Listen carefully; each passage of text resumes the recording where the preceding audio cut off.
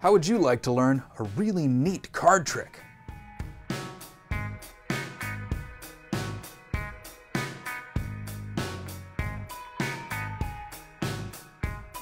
Welcome back to the Hat and Hare Academy, everyone. My name's Jonathon. Today, we're going to learn a card trick.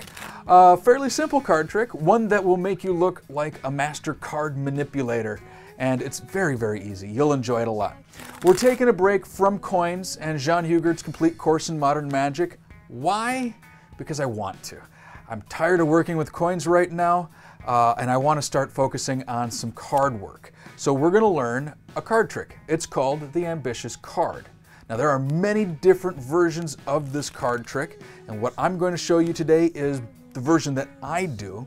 It is by no means uh, the only version. There are uh, 100,000 different variations of this card trick, but this is the one that works for me, and hopefully it'll work well for you as well. To get started, this is basically what the card trick looks like. It's a very, very simple in the hands card trick. It uses audience participation, so you're gonna have someone pick a card. We're gonna have them pick this card the four of clubs. All right, so they're going to pick the four of clubs, and you're going to say, "Excellent." Now, what's really cool we take that four of clubs and we place the four of clubs into the middle of the deck, right there, very, very plainly.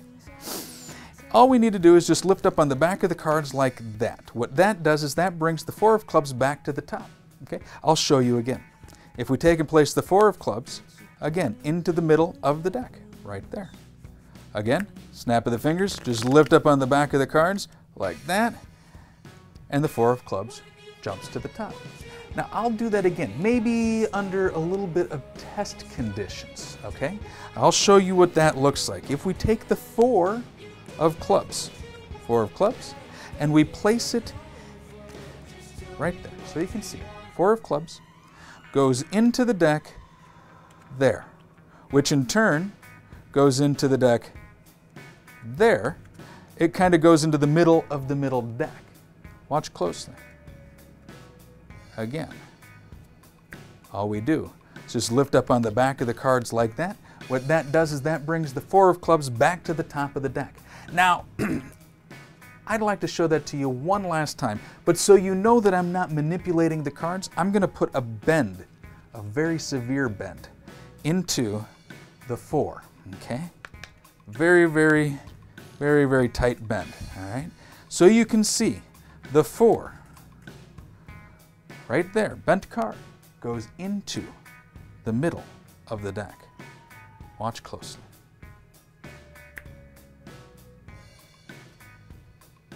Mm-hmm. And as you can see, there it is, right up on top. And that, my friends, is the ambitious card routine that I perform. So let me show you how to do that. It's actually a very easy card trick to do. What you need is a deck of cards. Any deck of cards will work. Uh, I'm using blue bicycles for this, okay? Um, work them in, make sure that they're, they're uh, worked in so that they're easy to uh, manipulate. What you're gonna do is you're gonna have someone pick a card, any card, and you don't care. Any cards you want, they can pick. We're gonna use this one right here uh, the three of diamonds. Now, while they're picking the card, you're going to do the secret move, okay? I'm going to set the three down. You're going to do this. You're going to take the top two cards and you're going to turn them face up. But you don't show that to people, okay? So you're just going to kind of do one of these, okay? And you hold those two facing you, okay? When they give you the three back, you simply place that face up facing you, like I did right there, okay? So now what do you have? You have uh, a face down deck of cards with three face up cards on top, okay? You're going to get what's called a little finger break beneath the three face up cards, okay? What that allows you to do, so you can see there's my little finger break right there, okay? What that allows you to do is turn these three cards over as one. Okay, so now their selected card is third from the top. You thumb off the top card, not the three, and you place that into the middle of the deck, like that. You push it all the way in. You lift up on the back of the cards, kind of like an elevator, you can explain to them. You just lift up on the back of the cards. What you're really doing is you're getting a little finger break between the top two cards, okay? You just lift up on the back of the cards, you keep that little finger break under the top two cards, you turn over the top two as one card. See, I've got two cards there, okay? Two face-up cards, all right? You turn the two over as one, look, it rose to the top. You turn them face down again, you say, I'll do that again for you. You take and you place not the three, not the chosen card, into the middle of the deck. You then again lift up on the back of the cards. And this time, you don't have to get a break because their card truly is on top, the three of diamonds, okay? You can hand that card to them and say, hey, check that out, make sure there's no tricks, uh, wires, hidden hinges, anything like that. It's a normal everyday playing card. Or you can just turn it face up on the deck like this. Now, the next move is kind of complicated. Not super complicated, but kind of complicated. You're going to cut the cards in half, okay? And you're then going to drop two cards like that, okay? And then you're going to re-pick up those two cards. So now you have the face-up card on top of a bunch of face-down cards with two cards like that, okay?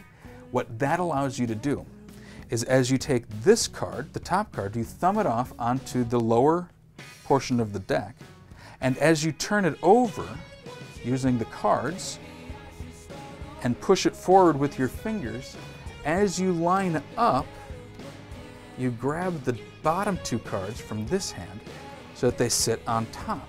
So now again, their selected card is third from the top here, okay? But you don't show them that, okay? As you push that forward, you turn your hand over, showing this card. That allows you to very cleanly push this card all the way in and immediately turn your hand over and place that card into the middle of this deck. You can then take and place this deck into the middle of this deck.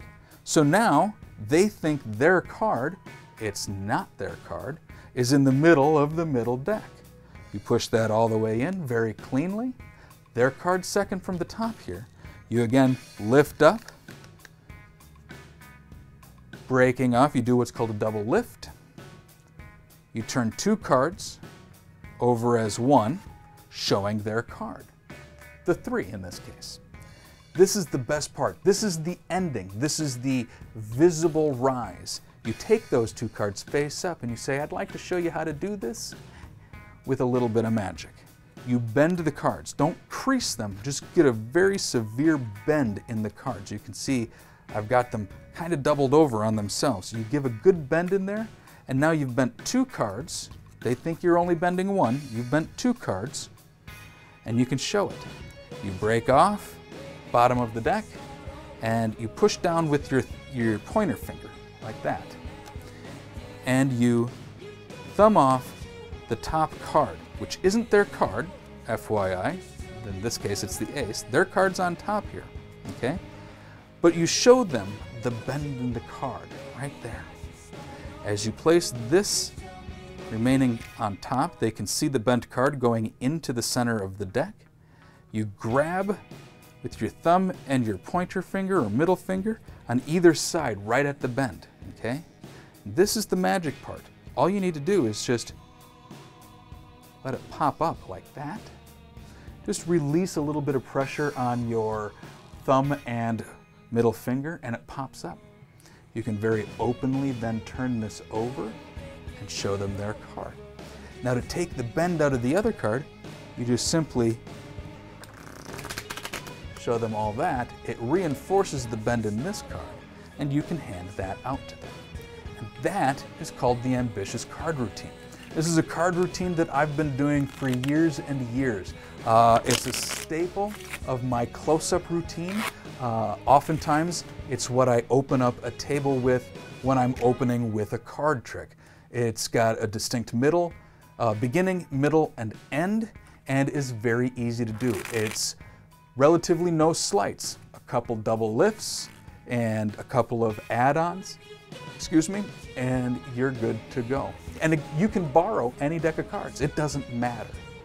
So I hope you enjoy that. I hope you practice it. It's going to take a little bit of practice to get it down, but it's a very easy card trick to do, and it's a lot of fun to do, and it's amazing. It, the, when you see someone's eyes bug out of their head when they see that card just pop at the top of the deck, it's truly magical. Uh, so uh, I hope you enjoy it. If you do enjoy this video, be sure to leave a comment in the section below. Also give it a thumbs up, that really helps me. And if you know someone that would like to learn magic along with us, be sure to send a link to this video and my others to them so that they can join the Hat and Hare Academy as well and learn some magic. Also, if you are on social media such as Instagram or Twitter, you're in luck, so am I. Be sure to follow me on Instagram at Hat and Hare or on Twitter at Hare Academy. Until next week, thanks for joining me here at the Hat and Hare Academy.